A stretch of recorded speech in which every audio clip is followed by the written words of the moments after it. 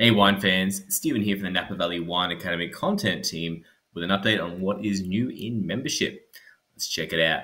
So, first of all, we have an interview, uh, interview presentation with a great um, McCoy, a very famous journalist, works for Bloomberg, Decanter, has written books that have been translated into many languages. And in this interview with our very own Peter Marks, she goes to a lot of the famous villages of, uh, Bordeaux. Uh, and it goes beyond just the typical what everyone sort of knows about these, but, you know, looking at deeply at Pauillac, Pomerol, and the other great villages that are famous. Uh, you know, pictures like this, which you don't normally see of Bordeaux. Um, so yeah, great interview. Uh, you can see Peter's really uh, happy to be interviewing her here.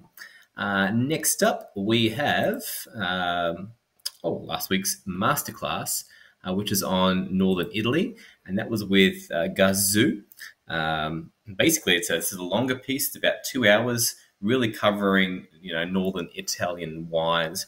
And to me, the, the best part of this was the the conversation and the depth he went into talking about appassimento, uh, the appassimento method. I've never seen anyone talk that deeply about it, and I found it riveting the way Gus described it. So definitely worth checking out. Uh, finally, on Thursday of this week, on the 20th, we have Peter Marks again. Uh, Peter Marks MW talking about Sauvignon Blancs. It's going to be broadcast live from our HQ, our headquarters in Napa. Um, Peter's always you know, very knowledgeable. You just have to jump into the live stream page on the membership and you can watch without having to be in Napa from anywhere in the world. If you don't have membership yet, jump onto the Napa Valley Wine Academy website and check it out.